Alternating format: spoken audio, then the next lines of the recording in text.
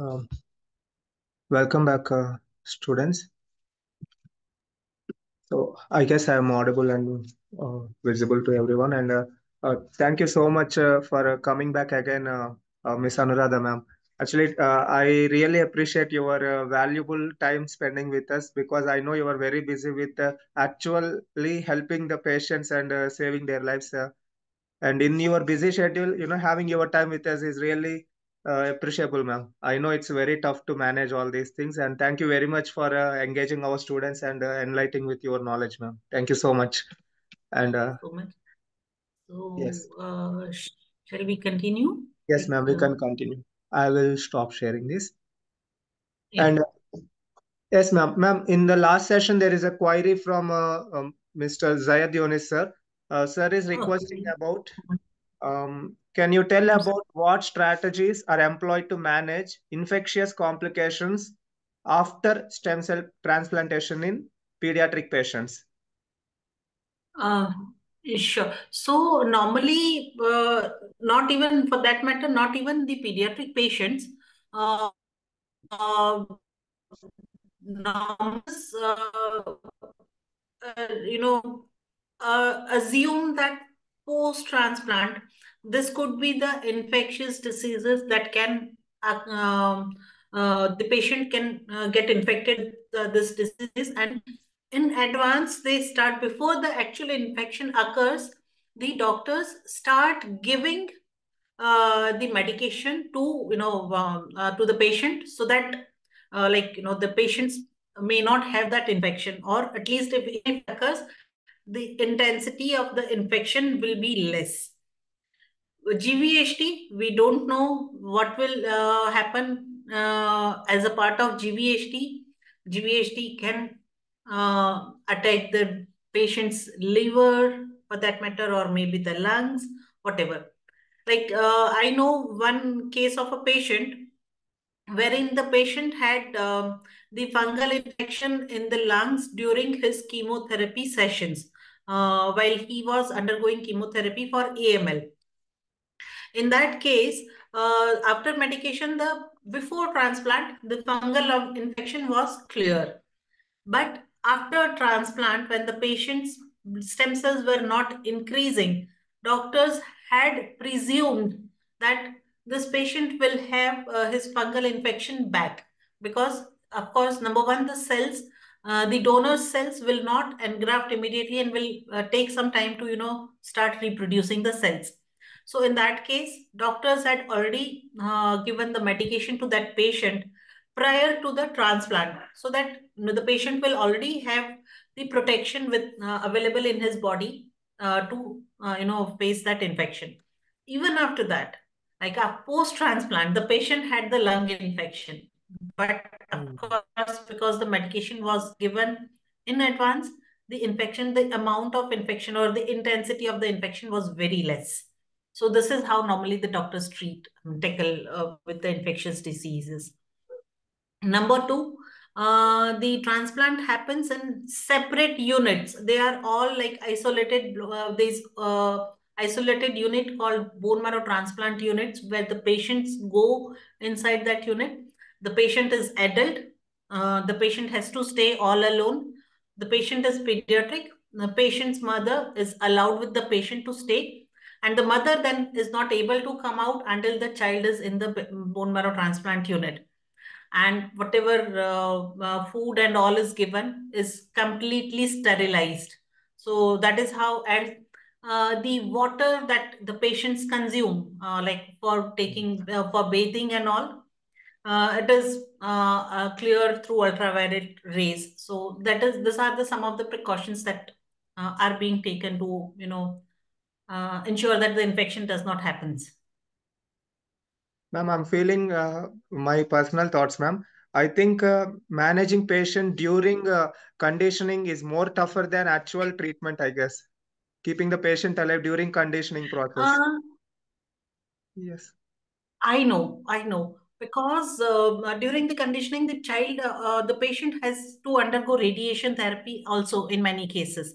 So radiation is one of the tough thing that the patient has to undergo. Chemotherapy has its own side effect, but radiation further going ahead for the radiation aggravates the side effects and in this uh, time the patients have uh, lots of ulcers in their mouth. They're not able to gulp anything.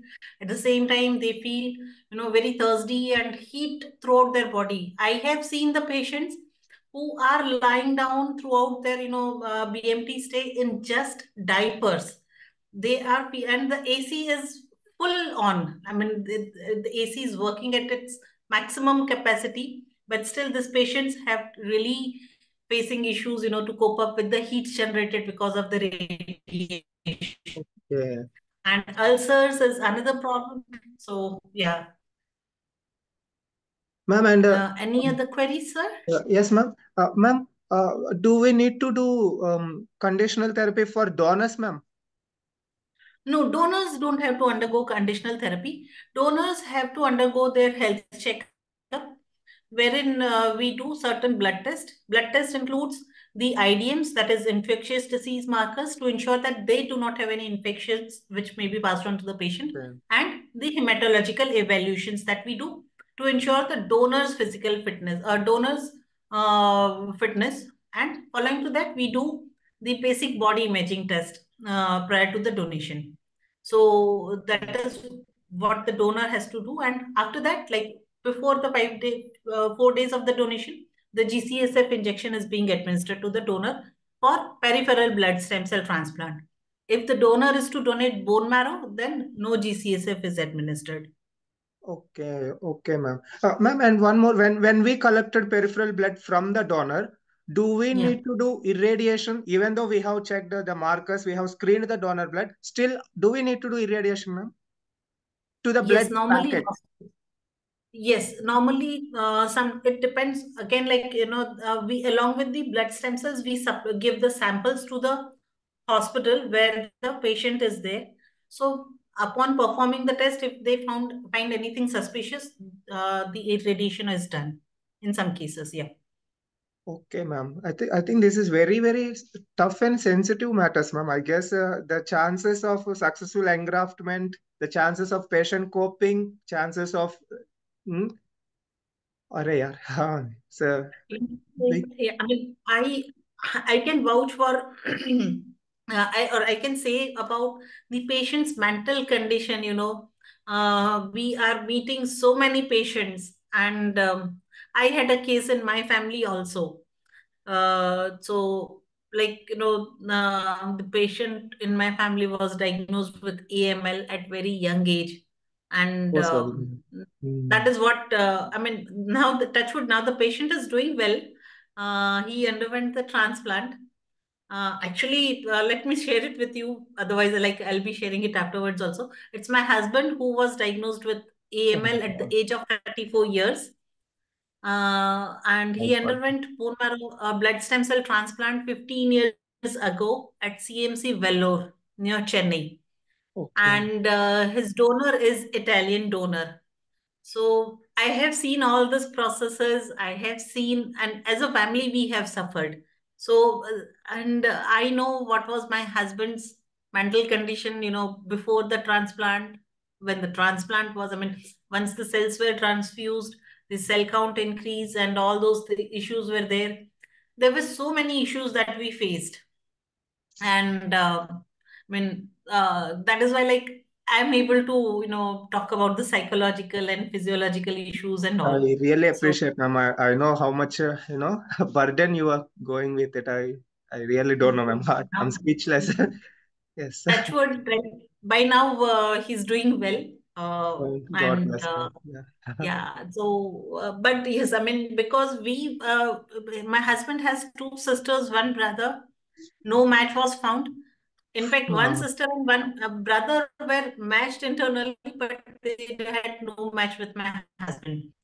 Uh, mm, our son was like uh, about four years of five years of age at that point of time. We got his HLA typing done, but unfortunately, it was it also did not match. So we were looking for donor, and Datri was not there at that point of time in India. It had just started. So we had no Indian donor database to help my husband. So, but like we were lucky, we could find a donor in Italy, although it was 9 by 10 match. HLA report is 10 factor report. I'll show you how it looks. So uh, it was a 9 by 10 match, but uh, in a way it was good for him. And uh, the factor which was mismatch uh, was good for my husband, and it was not of that important. That was that. Okay. That's what uh, the physician told us. So yes, I mean uh, ultimately it happened the donor agreed and donated and it happened but we know how uh, before we could find a donor my husband had a relapse and uh, that was the toughest time because we had no donor we had uh, uh we didn't know what will happen once uh, um, and when he he had a relapse doctor told me that no only it's only 20% chance that he will come out of this. My goodness. relapse. So uh, once he came out of relapse, uh, doctor told me that I know since it's uh, we are doing transplant after after second relapse, only 35% are the chances that he will survive. I said it's bigger than 20%. So I mean, and we have no choice. Like we have to do it. And uh, my husband also fought bravely. So I'll share some pictures uh, yes, at the time of you know the workshop, so you will get to know more better sure. about it. Yes, ma'am. Uh, so, yes, ma'am. Yeah. We'll continue. so, continue with the session. Yes. Uh, uh, MCQs, I mean, some of the questions based on the session that we had uh, earlier. So, uh, students, uh, you can answer. Uh, which of the following is not a common indication for HCT in pediatric patients? Yes, students. Ma'am, it would be nice if we share the questions, ma'am, in the screen. Uh, can we share the PPT or? Uh, you're not able to see my screen? One, uh, no, ma'am, we can't oh, see. I'm sorry. One second, ma'am. Let oh, me. I'm... No, yes, no, no. Wait. I'm, I'm sharing it. I'm so sorry. Yes, I thought you were able to see my screen. No, no, ma'am. okay. Now you're able to see? Yes, ma'am. We can see, ma'am, perfectly. Uh, yes, students. Everyone, please uh, answer this MCQ, students. Uh, the first MCQ I hope you can see. Which of the following is not a common indication for HCT in pediatric patients? Not a common indication. Leukemia, sickle cell disease, cleft palate, thalassemia. Yes, students, any idea? To my knowledge, it is cleft palate, ma'am. students? Yes. so uh, the donor selection is crucial because Yes, students, please answer. Everyone. You can stare at your mobile screens. You can see the question over there. Donor selection crucial in pediatric HCT because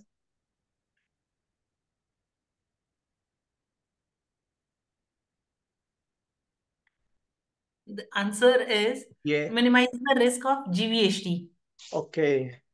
Yeah. So uh, again, depending uh, as we already know that you know the blood group can be different uh, between the donor and the patient. But if the blood group is same, again the risk of GVHD is reduced, and there are many more factors which are being considered. So I am not that expert, but of course all that, that I know is uh, consider uh, this is considered taken into consideration to reduce the risk of GVHD. Okay. And third question: then, role do child life specialist play in pediatric HCT is to role do child life specialist play in pediatric HCT is to providing psychological support to children and family. That's right. Thank you, Faith. Thank you. Uh, next question is uh, suitable source for stem cells for infant is suitable source of stem cells for infants and young children is? Um, cord blood. Why? Very good. Um, cord blood is uh, rich of supplies of stem cells, and it also has a lower risk to cause the rejection to the, the G- GVHD whatever. Right. Yes. Perfect. Thank you so much, Faith. And uh, I'm happy that you're listening to me and answering the questions. Thank you. And my next question is, uh, uh, what is engraftment? in context of pediatric HCT? You can answer, type your answers in the uh, chat box also. What is engraftment in context of pediatric HCT?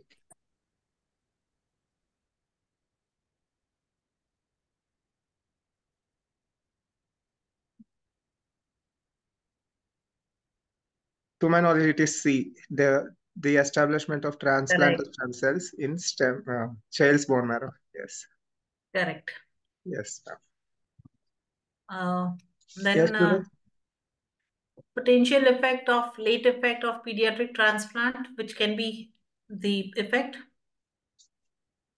Potential late effect of pediatric HCT.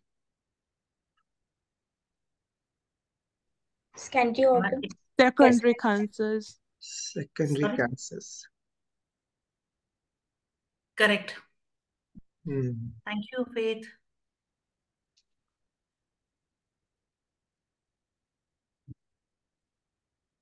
Okay, so now let's have case studies wherein I would be looking forward to answers from you based on the previous session. So first case I would like to discuss with you is a six-year-old child diagnosed with the ALL. So the case is the child's medical team has recommended HCT as a part of treatment plan. So what should be the steps involved in the donor selection and the laboratory test requirement to access the donor recipient compatibility? Six-year-old child. So what type of or what could be the ideal source of stem cells for this child? It's a young child. Yes. Explain the steps involved in donor selection. Ideally, we will try with kin first. When the kin Right. is not available, then the closest cousins, Right. parents and cousins. Before that, the child's own umbilical cord cells Yes, cord stem cells, cord blood stem cord cells. stem cells. So uh, normally many whenever like I conduct awareness sessions about Datri, many people ask me that should we preserve our child's cord cells?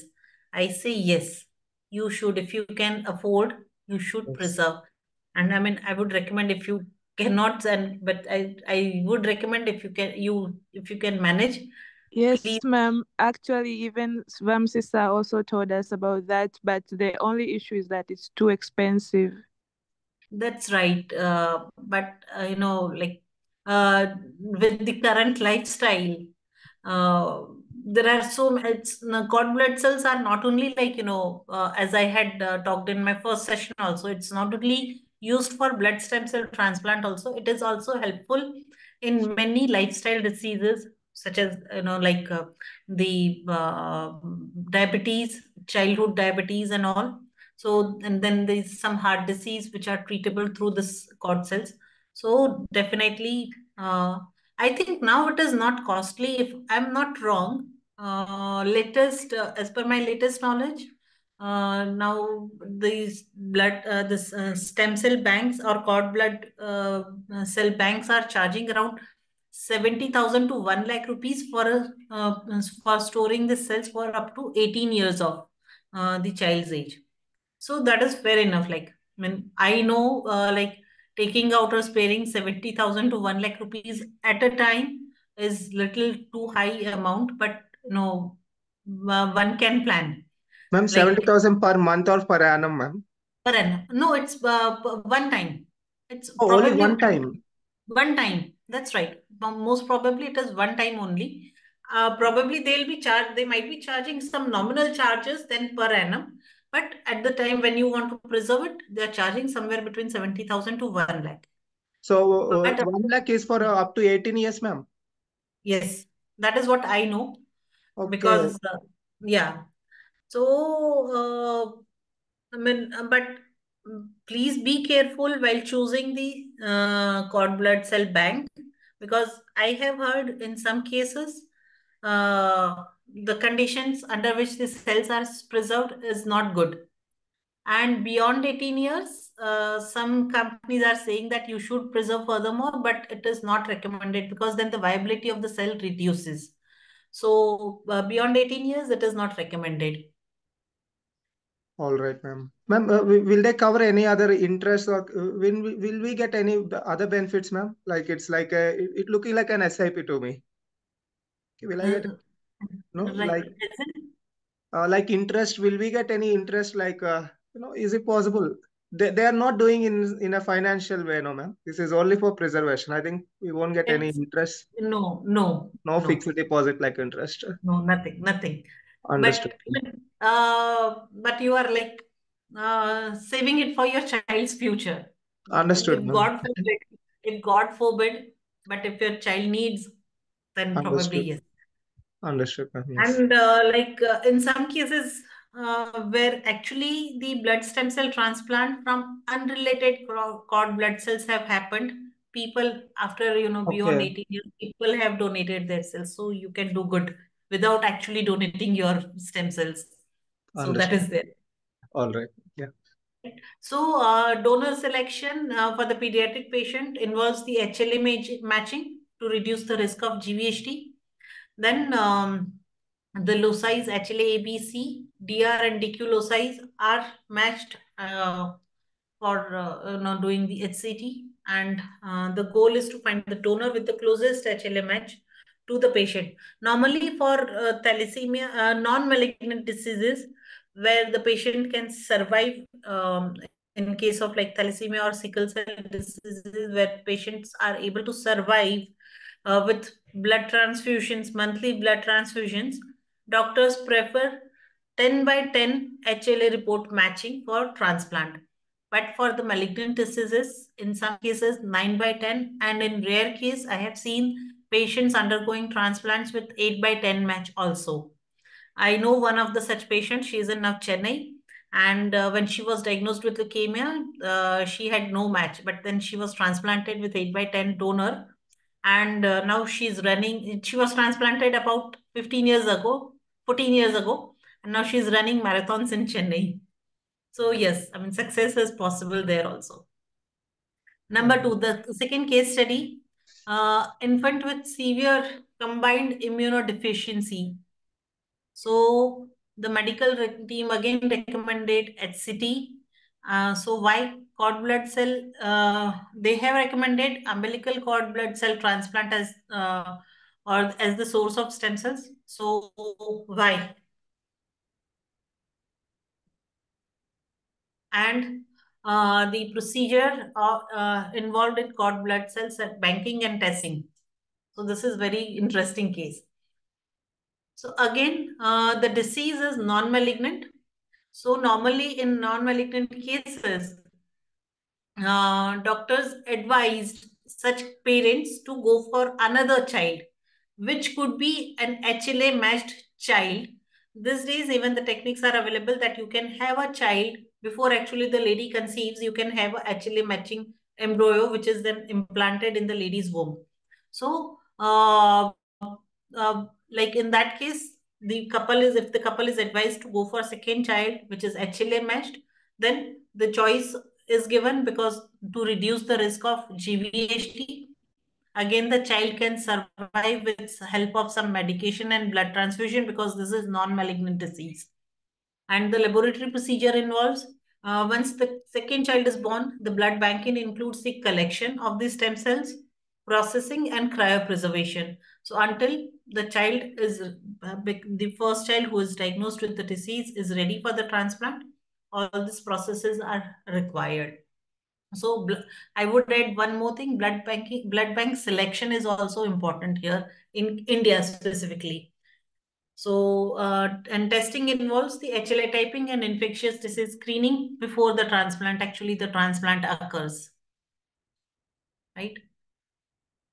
Case three: long-term follow-up for a teenager HCT survivor. So, 16-year-old child has already undergone HCT for sickle cell disease. Again it is a non it's non-malignant disease but it is genetically passed on disease. So uh, the patient is transitioning to adult care now. After 60 when the patient will become 18 years she he or she will uh, become uh, adult so explain the importance of long-term follow-up care what is all required what are all the follow-ups required? Periodic screening. Right. Long-term follow-ups involved involves the laboratory test includes CBC. Immediately, the CBCs are very much important. Then the assessment of organ function, because there can be some side effects of HCT, so organ function assessment is also required.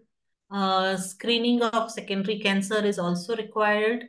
In some cases, like even after five years, the secondary cancer, like um, as I give you example of my husband, my husband was warned against having uh, possibility of having skin cancer. So after one year, when he started going out for work and all, he used to ensure that he would wear sunscreens, he would wear full sleeves clothes, and he will try try to you know keep himself as much uh, covered as much as possible. So this was all uh, the precautions were being taken for him. And of course, the regular psychological support is required uh, for these children. And uh, that's all. So I would now like to share some Datri case studies. Uh, so, sorry, I'm so sorry. Uh, it's here. So, uh, Samyukta was about like seven, eight years old when she was found to be a match with uh, Vipin Gupta. So as you can see how your HLA report will look like. So Samyukta was diagnosed with thalassemia and uh, Vipin, Vipin Gupta uh, found to be a full match with her. And uh, after Vipin Gupta trans, uh, donated his stem cells, this is when the Vipin Gupta and the Samyukta and Samyukta are meeting each other for the first time after the transplant.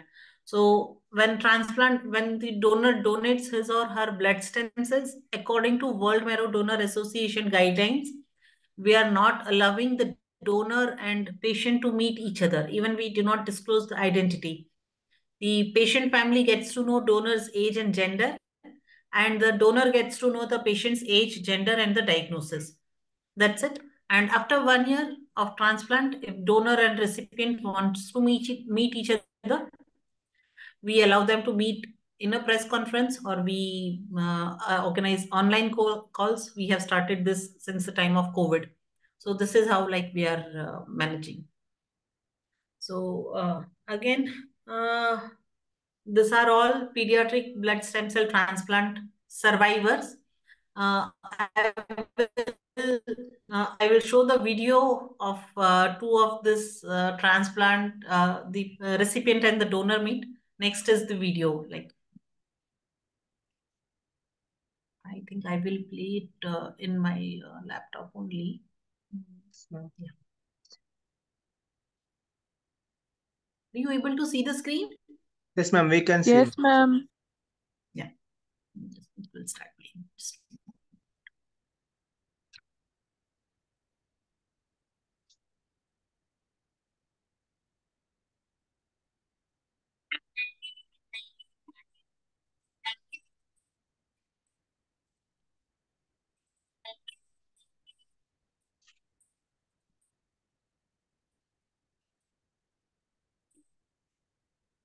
I got my son after 10 years.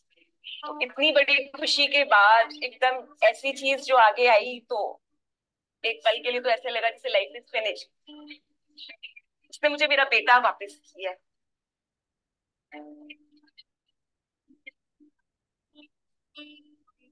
बहुत ही हमको craze है। बहुत craze है उसको मिलने का। मन में बहुत खुशी है कि वो कौन ऐसा है।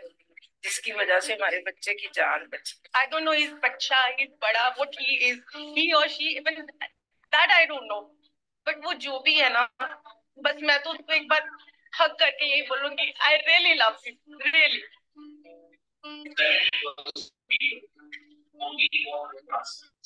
Today we welcome Manju. Here already from Bombay with her parents, Neeraj and Janvi Rora and her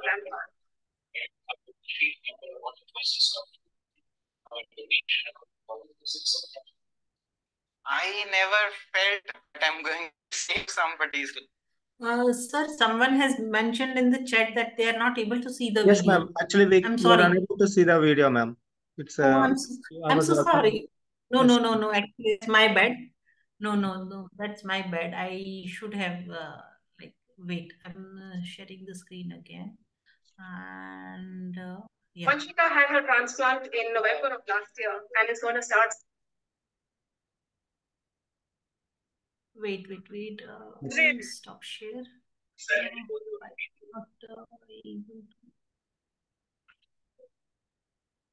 Or you can share the whole screen, ma'am. Full screen of computer. Or shall I proceed with the YouTube, Uh, ma'am? I- a year on Wait, wait, wait. Uh, let me try once again. Yes, Let me try once again.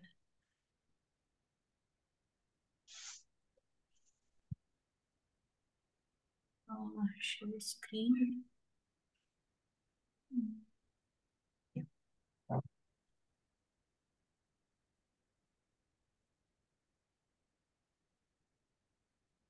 Yes, ma'am. Is Now, yes, yes. Okay. Now, Yeah, Sorry. Ma'am, no, ma'am. It's uh, still your desktop view. It's not the video. It's only icon. Okay. Just Hmm. is it? Uh, so in that case, like what I'm doing is I'm uh, like uh, putting uh, this. Uh, let me try. I'm not able to share the whole screen. How can I do that? Ma'am, you can, ma'am. Uh, When you click sharing, you have that whole screen option, the first option, screen. It's written as screen there. Uh, just a moment. Uh, And also, ma'am, you need to no, click, I mean like when I or shall I, uh, ma'am, tell me the video name, ma'am. A doctor gives lives to, you have sent me two YouTube links. Uh, no, uh, the second one second one video. I one sec. WhatsApp. I yeah. Oh, one second, ma'am. Let me cross verify. Uh, donor uh, recipient meet. One second. Right. I understood, ma'am. I, I will share this now. You, everyone can see now. Everyone watch this video, students. I'm sharing. Mm, yes. Go through this. This one.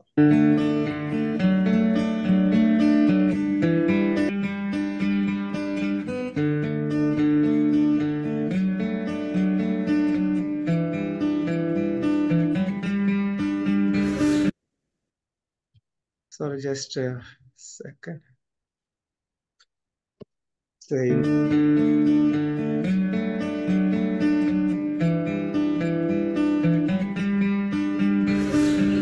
I got my son after ten years तो इतनी बड़ी खुशी के बाद एकदम ऐसी चीज़ जो आगे आई तो एक पल के लिए तो ऐसे लगा जैसे लाइफ इज़ फिनिश उसने मुझे मेरा बेटा वापस किया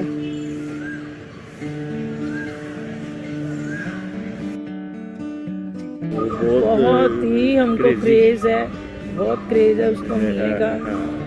मन में बहुत खुशी है कि वो कौन ऐसा है जिसकी वजह से हमारे बच्चे की जान बची आई डोंट नो इज़ बच्चा ही इज़ बड़ा व्हाट ही इज़ ही और she even that I don't know but वो जो भी है ना बस मैं तो उसको एक बार हक करके यही बोलूँगी I really love you really 70% of the people who middle class cards but do not have a family match broker.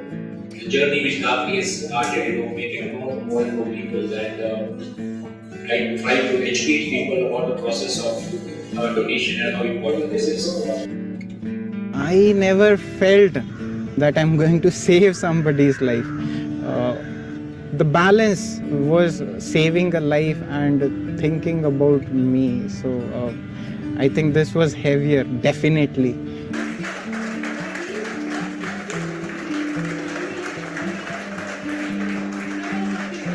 I was surprised. It's very rare. What I had known, even when I'd given my sample, that it's very rare to become somebody's match. So I was very surprised to find that out that I have ended up being somebody's match. There was an opportunity and I had taken it up. And then I met Perfect today. It feels so, so good. So good.